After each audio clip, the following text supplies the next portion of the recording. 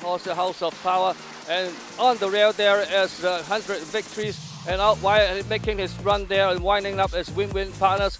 Well, there's a great horse, House of Power, House of Power. It's already gone gone off there, and he's the winner there and um, beating. It looks like the Yu Chang Princess hang on for the second and the third.